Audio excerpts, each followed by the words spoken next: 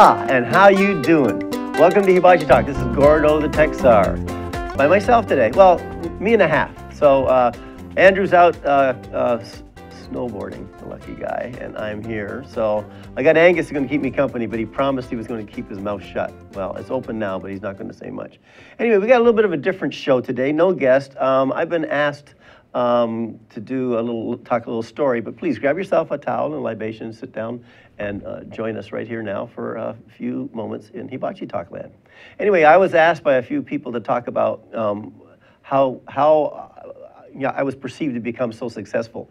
And, um, and a lot of people know that when I moved to Hawaii, I had 500 bucks. That was it. That's all I had, nothing else. And, and, and then over the, over the years, uh, been able to uh, become you know, pretty comfortable in my lifestyle and such.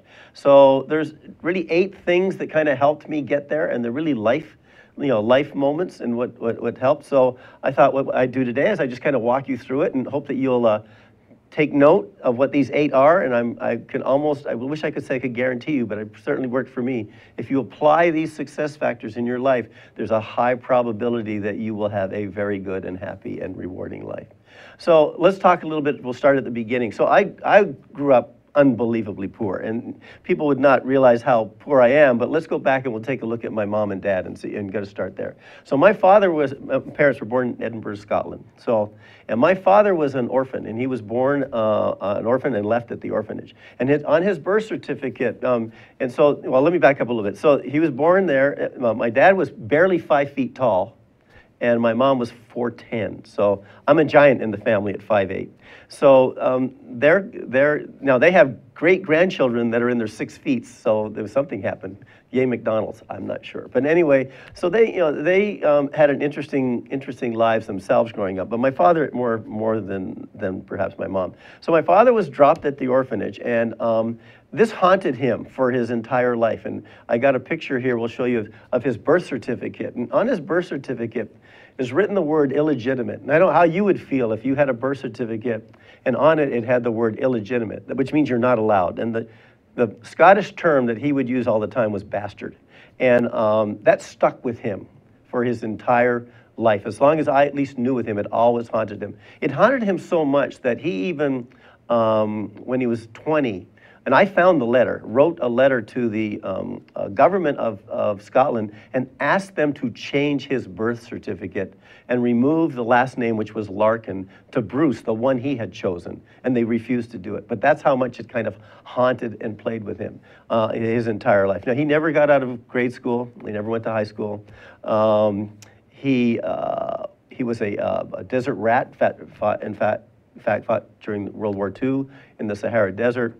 Um, so, you know, he had a very interesting, interesting background. Grew up entirely in the orphanage. He had a woman that kind of take, took care of him. Her name was Bruce. Last name was Bruce. And so that was the name and the reason why he picked it.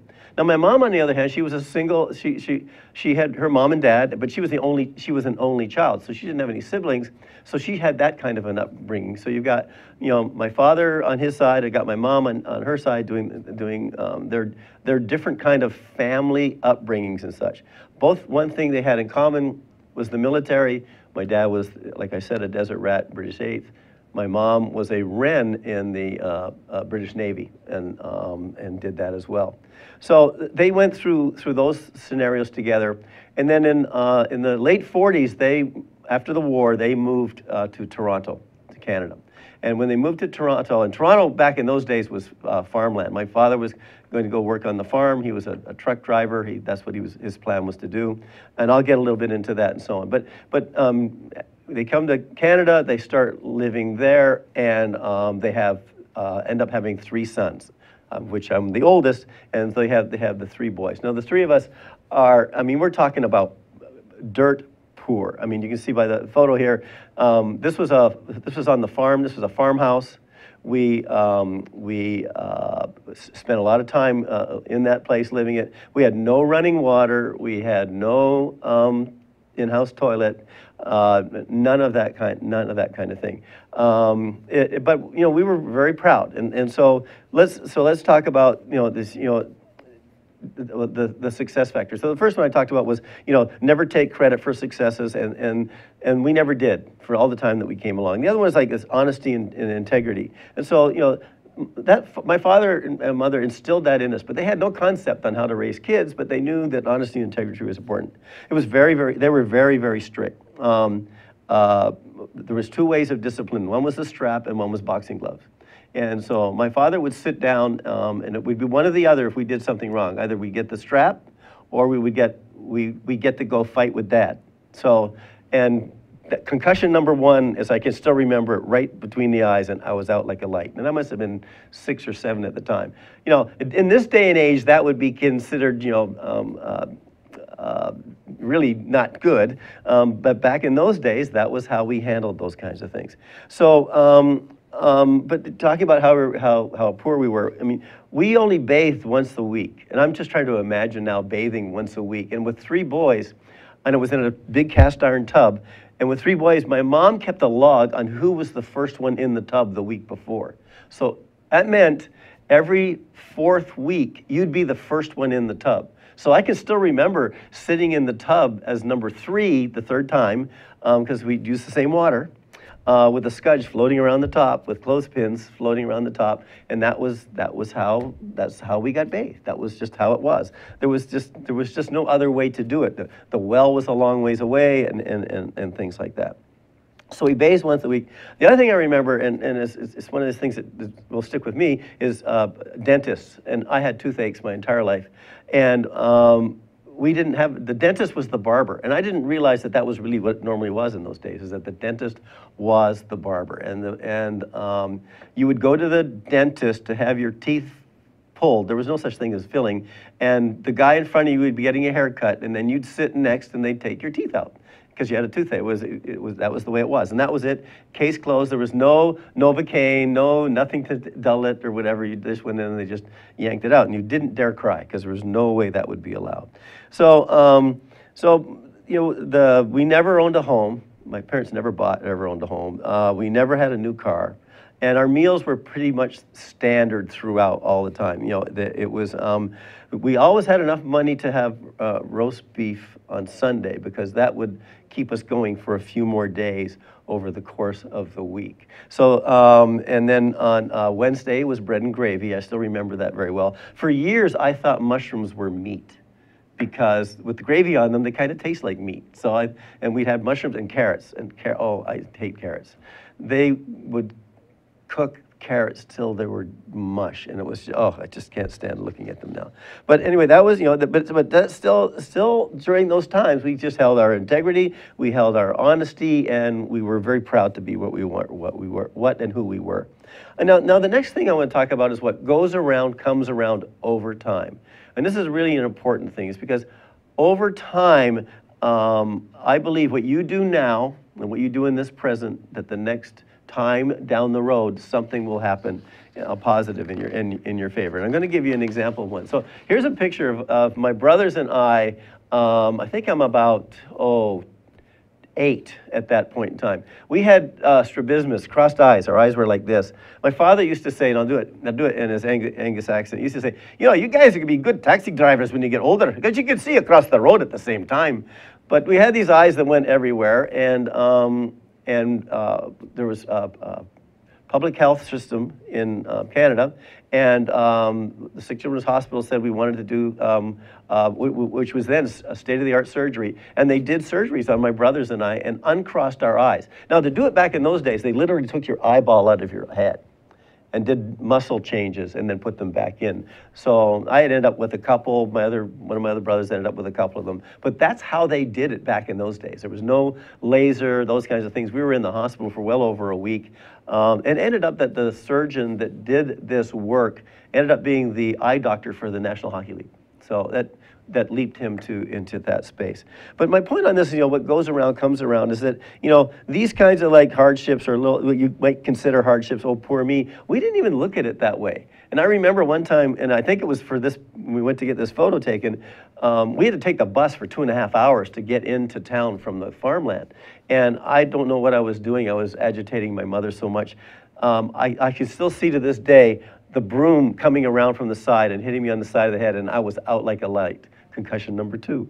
Anyway, so that she she knocked me down and out, and boy, I learned to behave and was quiet when I got on the bus. When, when I remember getting on the bus. But anyway, so um, but she you know she had her way about taking care of things too.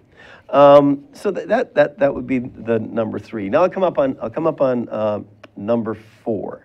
And we'll look at number four, you know, that work extremely hard. There is no job too big or no job too small. And I cannot emphasize that. And I, have seen it, uh, I saw it just as early as a couple of days ago when someone I, I was witnessing at a, at a job, the supervisor said, could you go do such and such? And he actually said, well, that's, you know, kind of like below me or beneath me or whatever. And I'm going like, just do the work just do the work. It's not that difficult, just do the work. And so and I got my first job at age eight. I sorted beer bottles. Like there were green bottles and no, not green bottles. There was brown bottles and white bottles, and I, my job was to take the cases and put all the white bottles in one case and all the brown bottles in another. And why was that the way done that way? In Canada, they did house deliveries for beer. 110 house deliveries per day my father did of beer deliveries. And i worked on the truck on the weekends on saturday and sorted out beer bottles. And that was that was my first job. You know and then i you know other things i did. I delivered groceries um, on a bicycle without the speed shifts or any of those kinds of things. Um, i peeled potatoes for a chinese restaurant and i didn't get paid for it but i got a bag of french fries in a bag at the end of every session hours of peeling french fries and they'd give me a bag of chips and that would be what my, my compensation for it, because there's no way we could afford chips. Um, I worked in a variety store where the guy was a bookie, and I got to deliver the um, uh, money back to, to Minto Street um, after my shift was over. I bagged groceries. I was a shelf stocker. I worked as a gas station attendant. I was a school janitor. I cleaned floors. Um, I worked in a clothing store. That's where I got, you know, all this good choice of styling clothes, clothes and, and, and did all of those things. So there isn't, there isn't a job that is that is too big. There isn't a job that is too small. So let's go over the first four, and then you know uh, we'll do the we'll do the the first four, and we'll do a break. So now, number one is never take credit for your successes, and I never do. It's always someone else behind you who helps you do it, whether it be your parents or your brothers or the, your fellow workers. They're the ones. Give them the credit. Number two, honesty, integrity that reputation follows you everywhere. You build that reputation, and boy, it's terrific. Number three, what goes around comes around, but it's over time. Don't expect the immediate reward tomorrow. And then number number four, work extremely hard. And there is no job too small, and there is no job too big that you cannot do. So those are my four. We're going to take a break now, and we'll go pay some bills. We'll talk about Angus in a second and where, what his role in, is in all of this. But anyway, thanks so much for listening, and we'll see you in about a minute.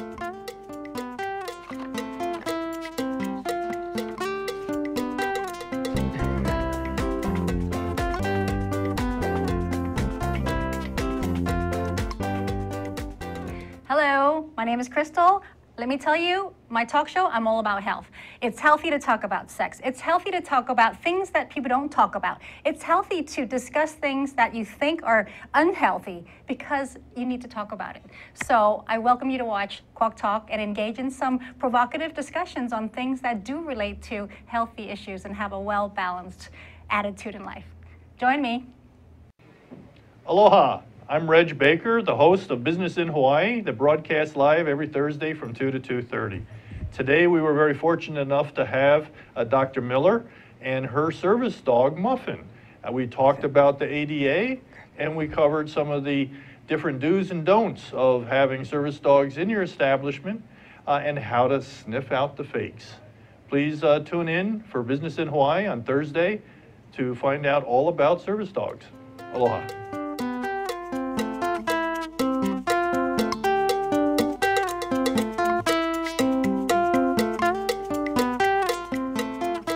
Aloha, and how you doing? Welcome back to Hibachi Talk. Gordo the Texar here. I'm on my own today, and uh, we're going through um, the success factors that I've had in my life that have helped me become what I consider to be uh, rather successful. I'm passing them on to you, and hopefully you'll be able to take the, some of these to heart. I got to start this second segment off with a comment that someone gave to me. Uh, every moment in your life is an opportunity, and that really is true. If you think about it, it's such a simple sentence. Every moment in your life is an opportunity. My opportunities come all the time. You know, doing this show is an opportunity, and things that have led up to it. Uh, meeting people like Jay and, uh, and such who, who have helped us along the way. So anyway, let's talk about success factor number five, which is one of my favorites, and that is have fun. You really need to have fun. I love to laugh, and I love to make people laugh. You know, it was one of the problems I had in school. Um, I wasn't exactly a great student. Um, uh, my father, you know, made things pretty clear. It's like, kind didn't go to college. So he, university wasn't even on our plate um, uh, when we were growing up. Um, as a matter of fact, you know, the fact that I graduated from high school was a first for the family. So um, that was something that was, that was not really pushed for us. But one of the things my and Angus is kind of a he's kind of like my dad, and same height by the look of this way he's sitting here. But he's kind of like my dad in, in a way. He's like I reincarnate reincarnate my dad in him because my dad used to make me every Sunday morning read the Scottish newspapers. He used to get them sent by mail from Scotland, and he would make me read them in the Scottish dialect. And if I didn't, if I didn't get it right, you a skate in the lug, which is a slap on the side of the head. So he would, he, he loved that country, and I think he really wanted to go back. I not think I know he did, but he wanted, he, he loved that country so much he needed to hear the Scottish accent, and he so he was the one that helped me kind of hang on to that kind of thing. And I've got some, so so we'll talk about you know having fun. I'm going to give you some funny stories about my folks. So I, there's, an, there's another story of my dad. So one time we got um, uh, a new pair of shoes. I got a new pair of shoes, and we were walking along the street, and with, I had these new shoes on. And he looked at me. He said, "Hey there, lad, are those your new shoes?" And I said, "Yes." He said, "You know, do me do, do me a favor. Take bigger strides. They'll last a little bit longer." So, I mean, he'd, he'd be that kind of thing. He'd be that pretty cheap. Now, I, I can tell you some stories about how cheap he, cheap he was.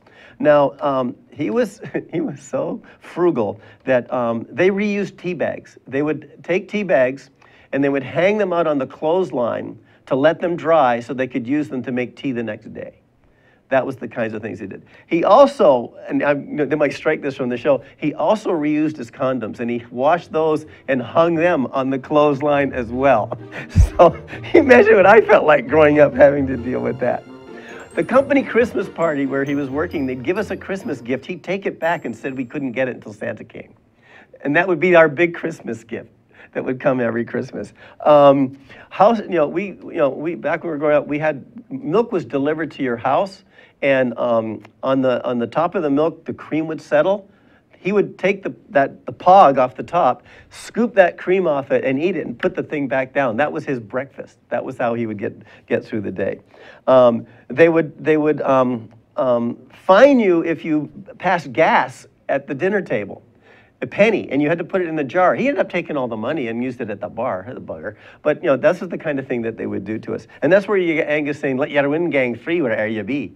So that was another phrase that came from my dad. Um, we used to, we, my brothers and I used to throw food at each other. You know, the mushy carrots and mushy peas that we hated, we would be flicking them at each other, th those kinds of things. And I, and I remember when I be, started to become a teenager, my, my father was really struggling with the long hair and all kinds of things. And I was going to a party and I had blue jeans on, and he looked at me and he went, You're then not going to wear blue jeans to a party. And he refused to let me get out of the house wearing blue jeans. I had to go put slacks on. Then I got out of the house, and then I had my brothers throw my blue jeans out the window so I could wear my jeans and go to the party because I wasn't going to wear slacks. No one wears slacks. And you know, and then and growing up in the in the in the '60s made it more, I think, more of it more of a challenge uh, for him because that was the time when everything started to get very rebellious. Um, my father and I had a falling out, but, you know, but rest his soul, we, you know, that, that was all made amends over the years when I got older. Um, but um, it, it was tough. It was really tough. And I still remember, um, because he was in World War II and went through a lot, um, and they call it post-traumatic stress syndrome now, but back in my day, it was called shell shock. He had been bombed so much that um, there would be times when he would relapse and go back into um, fighting the war again. He'd wake up in the middle of the night and turn the bed upside down and, and believe he was um, uh, back in the foxholes fighting this, fighting the war. And I, I can remember my brothers and I, holding him, you know, getting him held down and getting him to the hospital and all this kinds of stuff. That stuff never, ever, ever left him. Um, but you know, but still, we still kept persevering. We still kept going, and so on. And one of the things that my parents wanted to do in life is funny. Their goal was to get into government housing. That was their. We, I went to 11 different public schools and, and such, and I'll talk about that in a second. But so, so success factor number six: surround yourself with people smarter than you than you. Now, I was not, and still am not, the brightest star in the sky. Um, but what I learned along the way was I was able to surround myself with a lot of very smart people. And that's, you know, Andrew and Christine Lanning are a perfect example of that. These are two very young entrepreneurial people who um, uh, have made a really great career out of their business they started up. I remember when they started it up and how hard they worked together on it. You know, and so, so again, coming back to that, you know, I surround, I've been able to surround myself with all kinds of people. So I, like I said, I went to 11 different public schools, 11 different public schools. The longest public school I went to was high school for four years. So you can imagine all the years before that and the times that I bounced around. And, you know, and, and in those days, um, uh, when you went to a new school, you know, there was obviously no internet, you know, no Facebook you dealt with the real bullies. Those were the ones that would test you out when you got there. And so it was never, I, every time I went to a new school, I knew I was going to get into a fight. And during those times, coming back to the dentist thing, I, you know, I think I was in grade five when I lost half my front teeth in a, in a fight at the school. And now we had no money, and my father went, hey, you lost the fight, tough, you're stuck, so from fifth grade all the way up to high school, I had only half my front teeth. You know, how much does that build confidence in you? So, so I had to find ways to do things to make, make up for it, and one was being kind of like the class clown or having fun with things and so on. And I ended up getting the nickname of Gorgeous because I've had, my face was so messed up and so on. Everybody at school used to call me Gorgeous. It was the weirdest, weirdest thing of all. But we played on it and just managed to have fun with it. Um, so, so that happened. Now, what I did was um, I, there was no way I was going to go to high school with um, no teeth and half my teeth gone. So I, I, I worked multiple jobs, saved up. It was $100. That was a lot of money back in those days. 100 bucks, saved it all up, went um, to a, uh, a, dentist, still remember his name, um, where he yanked out all the, all the broken teeth and stuffed a, a, partial plate, not, not your implants or anything, stuffed the partial plate in there and said, okay, don't take this thing out for a week. And I so and that was it. And, and those days um, they would gas you to take out your teeth. And I still remember they gassed me, and when I woke up, I had um, um, uh, no recollection of anything. They were they were panicking because I think they couldn't get me. They couldn't arouse me. I was bleeding like a stuffed pig, and they just they just um, uh, uh, were in a state of shock. So, um, so you got to surround yourself with smart people. So the, the, the other thing you need to do is, um, uh, once I finished, um, was, was in school and those kinds of things, high school, had a great time. I played football on the high school football team, uh, was, um, uh, uh, our, our, our high school was the um, championship in our, in our division, two years, last two years that I got to play. Um, I got to play in the All-Star game in my last year in high school. I even got to play football a little bit for two years after I finished I finished high school. And um, and then then I um, uh, the real world set in because Arakain didn't go to university. I had to get a real job, and I got a real full-time job, and I was working for the city and county of Toronto, um, delivering mail, and I was in the buildings department. Now, when I was in the buildings department, what I did was um, uh, surround myself with smart people, but at the same time, I was in planning and permitting, and I decided to go to night school and took architectural classes and how to read plans and so on. So that started it to go there. Now, while I was there, I uh, was able to uh, get into the uh, city's computer system um, illegally. It was before the hacker term was, was, was coined, and I got caught. The end result, to make a long story short, was they offered me a job uh, in the computer department at the city, so I went down and started working in there, and then I started going to night school and taking computer classes. And back in those days, there was no degree in computer science or MIS or anything like that, like those kinds of things. But I volunteered to work the midnight shift as well because I could get the work done and I would have this large multi-million dollar mainframe to myself for about four or five hours and I'd learned to, I wrote code and learned to do a number of things and such like that, which also led to the, um, the, uh, the next part, which is, and um, uh, my move to Hawaii. So my next success factor is kind of, I call it, call it be nice.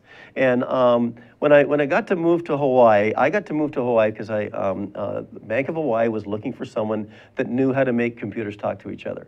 And uh, I applied for the position and uh, I wanted a green card. And they said, that's all I wanted was the green card. And they said, we'll get you your green card. 11 months later, I've got, um, I'm here in Hawaii. I moved, moved here in January with 500 bucks and uh, my family. And um, we land here, and it's just beautiful weather. It's terrific. I'm now working for Bank, Bank of Hawaii. And then um, uh, the, through this thing, I started to do a whole bunch of other things, and that was volunteering. Uh, I got with the bank, I volunteered with um, a number of the things that they had going, and I ended up working for a number of companies Queens Medical Center, uh, uh, uh, Campbell Estate, and such. You know, the Santa suit one was I volunteered to be Santa. When Kapolei was just being developed, I was working for, the, for um, James Campbell Company at the time. I volunteered to be Santa every Christmas. We'd do 700 photos for free at the Kapolei Shopping Center. And I would sit there all day. I'd go through two suits because they'd be so sweaty. I'd go two, two suits and we would take, take photos day after day after day. And I can still remember this one lady, and I think it was in around the last, the last time that I did it. She came in and she said, it's the same Santa. She had pictures of her kids with the same Santa for over seven years. So, but that, that volunteering stuff and that being nice, that, that comes around uh, and those uh, kinds of things. So, and then, then I'm going to hit the last one and I'll call it, we'll call it closing circles. And you've got to close the circles. You start doing all of these things from the beginning to the end, whether it be, you know, you know, your family, your friends, the people you meet and so on. When I first moved to Hawaii, I didn't realize until I got here my goodness, there's a lot of Asians living here. Um, I, I, was like, wow, I've never seen that many Asians. As a matter of fact, there's more Asians here than I am. I think I might be a minority, which was also kind of like, wow, how amazing is that? But it made it real comfortable when they gave me a Chinese name, Hao Li. Anyway, I just leave that one alone.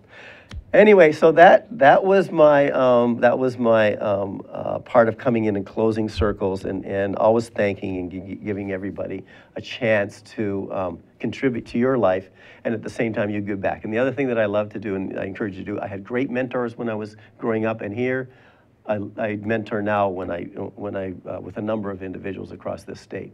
So those are my eight. Those are my eight success factors. You can go back and you can revisit this and play it again my favorite thing again, every moment in your life is an opportunity. Every moment in your life is an opportunity. And as we like to say, please come and see us again, uh, watch us on Hibachi Talk. Thank you, Robert. Thank you, Zuri, everybody for helping me get through this. Um, we've done it really well. And as we always say at the end of every show, how you doing?